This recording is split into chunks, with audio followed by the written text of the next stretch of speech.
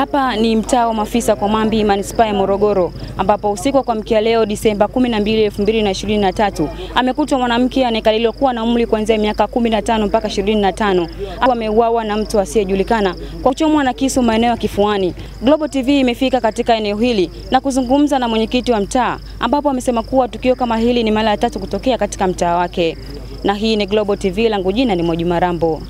Kwa majina anaitwa Ahmadi Salum Kinyali, ni mwenyekiti wa mtaa huu wa Mambi, kata ya Mafisa, manispaa ya Morogoro. Leo asubuhi majira ya saa moja kasoro hivi tulipata simu kutoka kwa mtu ambao simfahamu akinielekeza maeneo ya Maguzo kuna mwanamama amelala, lakini anahisiwa amekufa.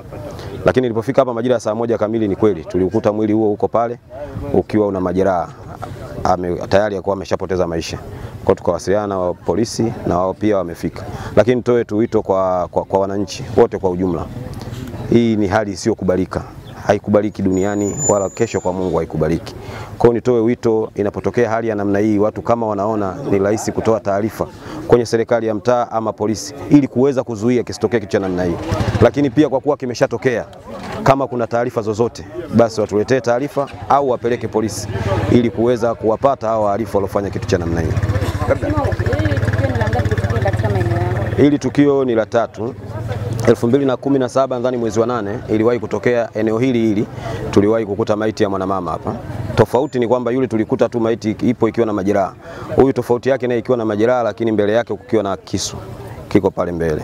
Lakini pia kwa juu yake kidogo, mwaka huu tuliweza kuokota maiti za watoto mbili ambazo zenyewe zilikuwa bado zina, yani ni kama mtu aliotoa mimba ya miezi saba ama sita hivi, tuliweza kuokota kwa juu yake pale. Wito wangu kwa wakazi wa maeneo haya kwa ujumla, kwanza tushirikiane kwenye lile jambo letu la ulinzi shirikishi. Tukiweza kusimama vizuri hapo, haya matukio yatapungua. Lakini cha pili ni kazi yetu, hii hali haikubaliki. Wakiwa na taarifa za aina yoyote, watoe kwenye uongozi wa mtaa ama polisi, kwa sababu dhana ya ulinzi, unajilinda wewe, unalinda mali zako, lakini unamlinda na mwenzio. Kwa hiyo tushirikiane ili kuweza kuondoa huu uhalifu.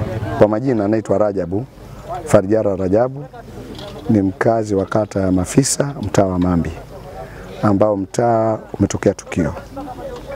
Tukio hili mimi nilisikia asubuhi kwenye muda saa moja na nusu saa mbili, na nilivyosikia ikabidi kama mwananchi wa eneo hili nije kulishuhudia hili tukio. Kwa jinsi nilivyoona ile maiti ilivyouawa, yule muuaji anastahili kulaaniwa sana sana sana. Hana sifa ya kuwa mtu, kwa sababu binadamu mwezio unavyomfanyia ukatili ule wa roho mbaya iliyopitiliza, hebu iangalie nafsi yako wewe, umefanya mangapi hujahukumiwa?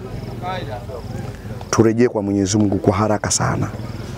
Wakati tuliokuwa nao mgumu, mauaji ya kinyama yamekithiri. Sasa hivi bora hata ukutane na simba na hueni kuliko binadamu. Kwa hiyo kwa angalizo, ningeomba tu kila mmoja aichunguze nafsi yake, tusipende kuchukua madaraka ya kuhukumiana. Wenye kustahili hukumu wapo, jeshi la polisi lipo, mahakama zipo.